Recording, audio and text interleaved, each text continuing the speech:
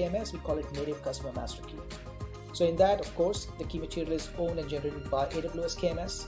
Second one is the key material belongs to AWS KMS and cannot be exported by customers. So you cannot export the key material out because it is owned by AWS KMS. So you have to use that key material um, in a particular um, AWS region and account. You can cross-reference the keys across accounts, but you cannot take the key material out of AWS.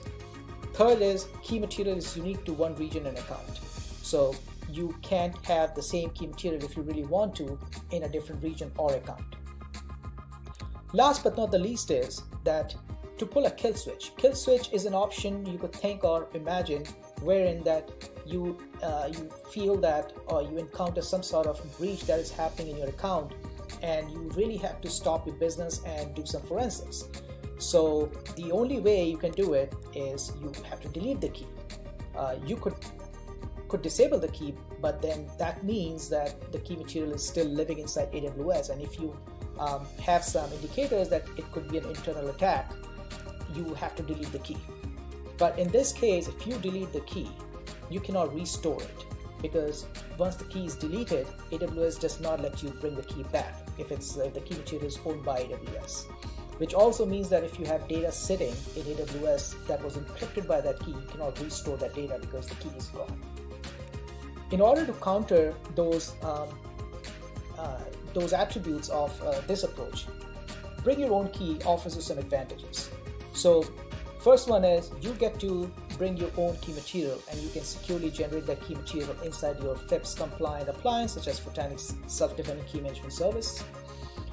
Key material belongs to you and can be exported if needed. So if you are generating the key material outside, it's your choice. You can make market exportable and if you want to take the key out and if you want to use that key elsewhere in some other solution or do some of the crypto, you are free to do that. Third one is key material is unique. However, it can still exist in different regions in different AWS accounts because it's your key material. You are completely free to import that into different regions and different accounts and so on. So it opens up a lot of flexibilities for your deployment and high availability and multi-site deployment. When it comes to kill switch, it offers you a great benefit because when you bring in your key material, AWS lets you delete the key material only while keeping the key with its metadata uh, intact in AWS. So instead of deleting the key where you lose the key, you can simply delete the key material, which guarantees that nobody can access your key because there is no key material.